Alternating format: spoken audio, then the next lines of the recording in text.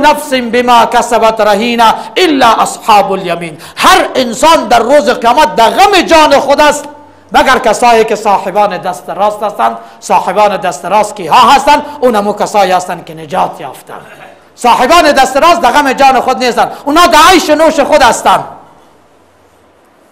الا اصحاب الیمین فی جنات در جنات ها در عیش نوش هستند. یتساءلون عن المجرمین. از انسان های مجرم از انسان های گناهکار پرسان می‌کنند. در جهنم می‌بینند مشاهده می‌کنند. ما سلککم فی سقر.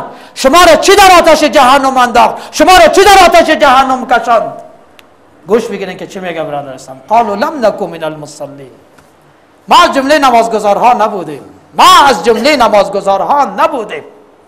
ولم نکو نطعم المسکین و ما کسایی نبودیم که در رابطه با دادن طعام دادن نان به مسکین ما می‌دادیم یا دان المسکین نمی‌دادیم یا خیر و خیرات نمی‌کردیم صدقه نمی‌دادیم نه در عبادت بدنی و نه در عبادت مالی هیچ توجهی نداشتیم. و بر علاوه ازی و کننا نخوض مع الخائدین. ما میشستیم دیگه همراه هر کس دان باز می‌کردیم که ای مولای صاحب صاحب همی بیشینن صاحب دوزخ می‌کنن بیشینن جنت می‌کنن مردن است و گور است و فلان است و هیچ چیز ما ندیم. و کننا نخوض مع الخائدین.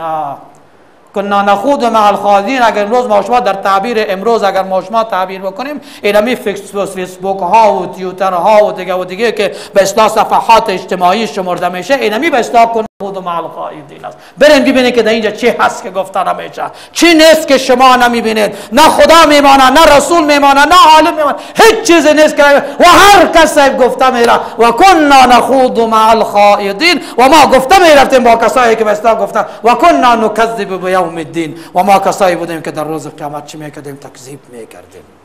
گوش بگین پروردگار هم در جوابش چی میگه؟ فما تنفعهم شفاعت الشافین. این کسایی هستند که در حق از اینا شفاعت هیچ شفاعت کننده قبول نمیشه